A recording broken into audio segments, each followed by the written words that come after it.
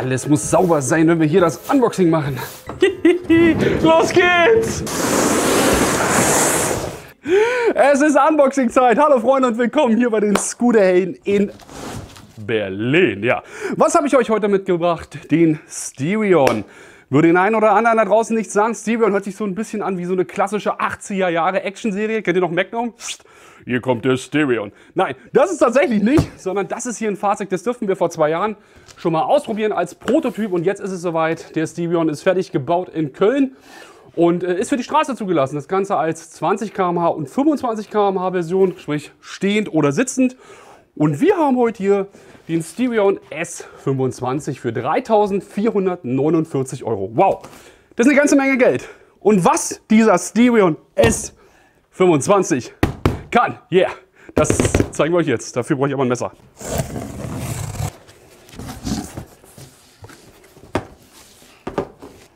Ja, so sieht's aus in der Box vom Stereon S25. Also sauber sortiert, finde ich schon mal sehr, sehr cool.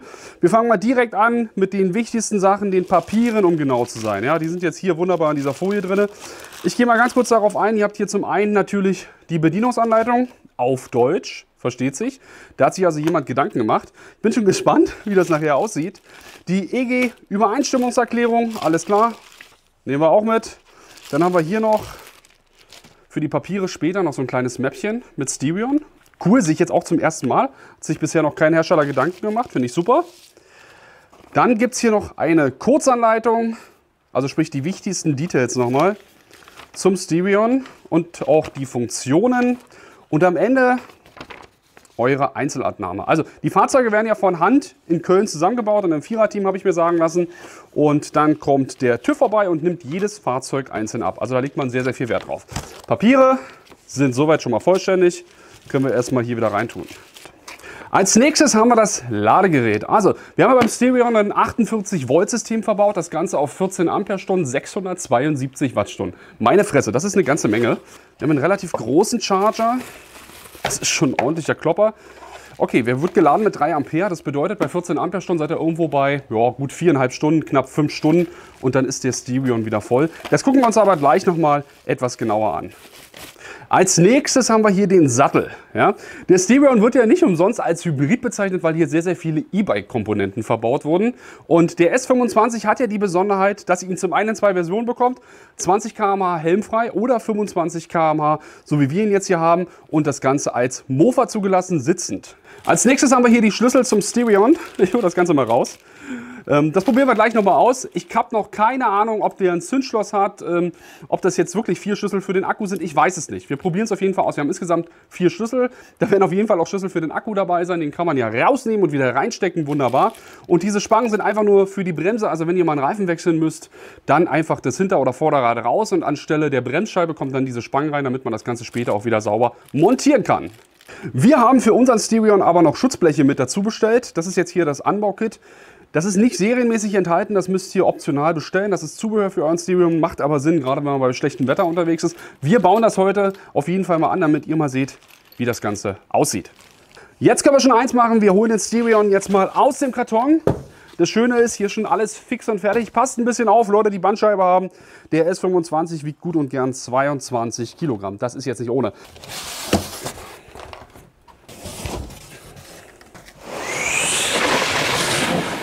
Yellow River. Yellow. Kennst du den Song? Das ist eigentlich ganz geil, ne?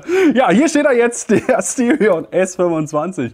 Wir müssen natürlich noch ein bisschen Zubehör anbauen, und zwar die Schutzbleche und den Sattel. Und dann gucken wir uns den S25 mal ganz genau an. Meine Frau fragte mich gerade, ja, wieso sagst du eigentlich Hybrid dazu? Ja, das kann ich dir sagen, weil das für mich so die Kombination ist eigentlich aus E-Bike und Scooter. Ja, du hast jetzt keine Pedalen, aber wir haben extrem viele E-Bike-Komponenten, ja, muss man einfach mal dazu sagen. Ich habe jetzt hier schon die Magura-Bremse gesehen, äh, die Supernova-Beleuchtung. Wir haben hier Barfang, Antriebsstrang drin. Ja, eigentlich fehlen nur noch Pedale. Ist es aber nicht. Das ist ein E-Scooter. Um genau zu sein, ein Mofa für euch da draußen mit 25 km/h. Und den bauen wir jetzt erstmal zusammen. Und dann gibt es noch ein paar schöne Details zu diesem S25. Masse! Masse, oh, ist das schwer. Scheiße. Was ist denn? Wir haben doch gesagt, wegen Corona sind wir nicht dazu gekommen, ins Fitnessstudio zu kommen. Kann ich doch mit dem Roller machen, oder nicht? Das sah aber sehr Was sah das sehr? merkwürdig aus.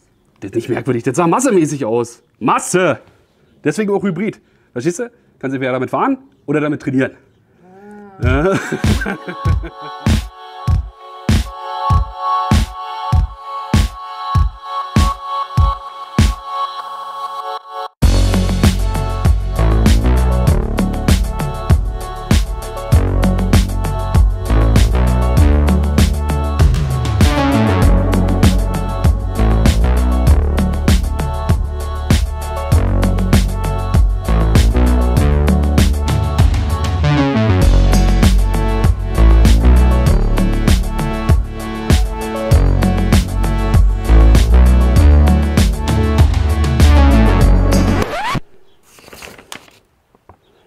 Ist nicht so einfach. Also als Techniker hat man da echt so seine Probleme, ja. Deren. Mann!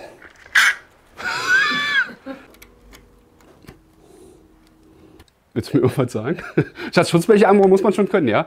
Also ich, ich schaff's auch ein Zelt aufzubauen, da wächst ja wohl auch schaffen, die Schutzbleche anzubauen. Was hast du gerade gesagt? Sag mal bitte. Dass es beim Wurfzelt auch nicht so schwer war. So, warte mal ab, ey. Ich werd dir noch, ich, es wird demnächst T-Shirts geben, da steht hinten drauf Schatzi, ja? Den YouTube-Kanal werde ich umbenennen. In Schatzi. Ja, genau. Schatzi, wie sieht das Ganze von hinten aus? Als wenn ich irgendwie mit dem Schwänzchen wackeln würde, wa? Das Schöne ist, wir haben Rücklicht mit Bremslichtfunktion von Supernova. Und von vorne sehe ich natürlich noch ein bisschen dynamischer aus, oder? Äh, von der Seite muss ich auf jeden Fall den Bauch reinziehen. Ich habe gedacht, der hat eine Zündung. Nein, das sind tatsächlich vier Schlüssel für das Akkusystem. Ich will mal ganz kurz darauf eingehen. Der Stereon steht, ich habe einen Moment gebraucht, um die Schutzbleche vorne, hinten anzubauen. Wie gesagt, das ist Zubehör, aber im Endeffekt ging es kinderleicht. Sattel rauf, Schutzbleche ran, Thema erledigt und schon steht das Ganze. Was ich jetzt hier in der Hand halte, das ist das Akkusystem. Wir haben hier 48 Volt System, 14 Ampere-Stunden, 672 Wattstunden und eine Reichweite von circa 40 bis 60 Kilometer. Das hängt immer natürlich auch vom Fahrergewicht ab. Ne? Der ganze Roller, so wie er jetzt hier steht, oder Hybrid, E-Bike, E-Scooter, wie man auch immer dazu sagen möchte, wiegt 22 Kilo. Ihr dürft jetzt noch insgesamt 108 Kilo bei dem Fahrzeug raufpacken. Das dürfte bei mir dann gerade so passen, ja. Entwickelt ist er tatsächlich für Personen bis 1,95 Meter. Steht zumindest in der Anleitung. Wir testen das. Ich bin gut 1,90 und wiege 103 Kilogramm. Das heißt, wir werden hier natürlich nochmal ein Review machen. Was ich aber cool finde, wie im E-Bike-Bereich, ihr könnt den Akku rausnehmen. Wiegt auch nicht viel. Man kann genau ablesen, wie voll ist das Ganze. Und mit dem dazugehörigen Ladegerät in 4-5 Stunden ist er wieder voll. Könnt ihr auch im Zubehör tatsächlich nachbestellen. So. Das ging jetzt aber schnell. ja, sonst stelle ich mich mal an, ne? mit dem rein und raus in dieses ganze Gefriemel. Ähm, der Stereon S25, wie gesagt, ihr kriegt ihn in 25 km/h und 20 km/h. So wie er jetzt hier steht, gefällt er mir schon ganz gut. Interessant wird nachher echt die Probefahrt, ja. Der Radstand als solches und der hat ja eine wirkliche Besonderheit und das ist diese Allradlenkung, die wir jetzt hier in der Mitte sehen. Und äh, mir wurde gesagt, es gibt Leute, die können das in 10 Minuten, andere in einer halben Stunde und dann gibt es wieder Leute, die brauchen den ganzen Tag. Ich werde wahrscheinlich einer dieser Kandidaten sein. Schauen wir mal. Aber das, was mir natürlich auffällt, ist die sehr, sehr gute Verarbeitungsqualität. Das ist richtig gut gemacht. Zusammengebaut wird das Ganze hier in Köln von den vier Jungs. Die Rahmen kommen beispielsweise jetzt aus Polen. Der Antriebsstrang ist bekannt aus dem E-Bike-Bereich von der Firma Bafang. Das ist schon ein bisschen was Hochwertigeres. Äh, Besonderheit ist hier nur der Frontmotor. Wir haben hier also ein 500 Watt System vorne auf 48 Volt und der kommt eigentlich aus dem Cargo-Bereich. Das heißt, die mussten die tatsächlich runterdrosseln, weil das Teil so viel Power hatte, dass dir schon fast die Schuhe ausgezogen hat. Auch da lasse ich mich jetzt gern später mal überraschen. Aber das USP, und das ist es halt eben, wo man sagt, okay, es ist der Porsche unter den E-Scootern interessantes Argument, das werden wir später dann noch schauen, ist natürlich die Agilität und die Wendigkeit. Ja? Weil gerade durch diese Allradlenkung, die ja von den Jungs auch patentiert ist, ich, äh, ich zeige euch das nochmal ganz kurz. Ihr lenkt also ein und das Hinterrad lenkt dann im Prinzip mit. Habt ihr natürlich sehr, sehr kleine Radien, die ihr fahren könnt und es soll sich anfühlen wie Skifahren, Carven. Jetzt bin ich kein Wintersportler und ich habe mich auch bei einem Einrad schon sehr, sehr schwer getan, habe es aber mittlerweile oder beherrsche es mittlerweile und es macht auch sehr, sehr viel Spaß.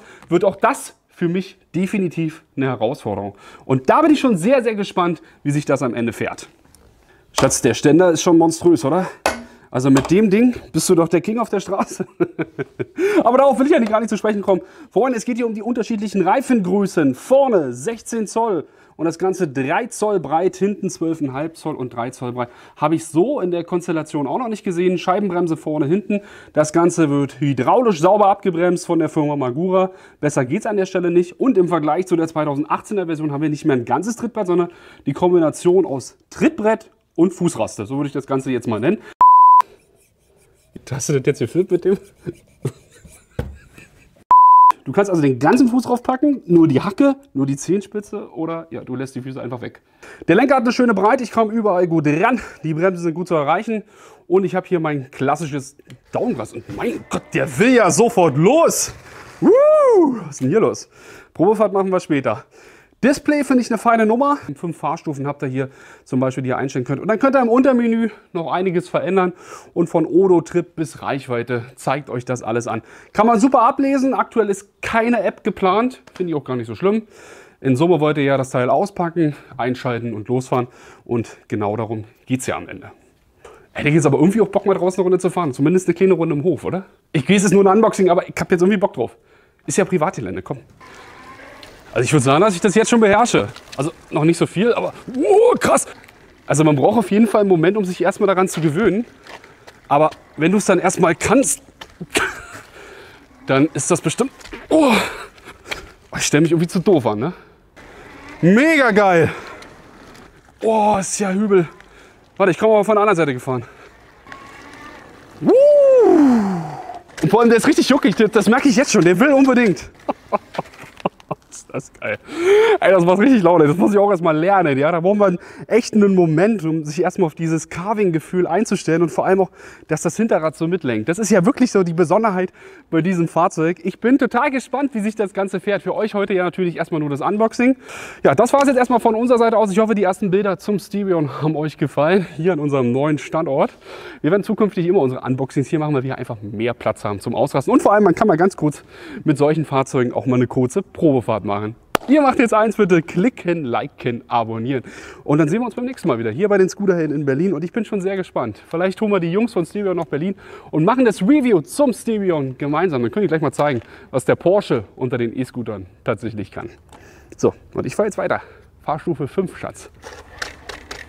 5. Ab geht's! Uah!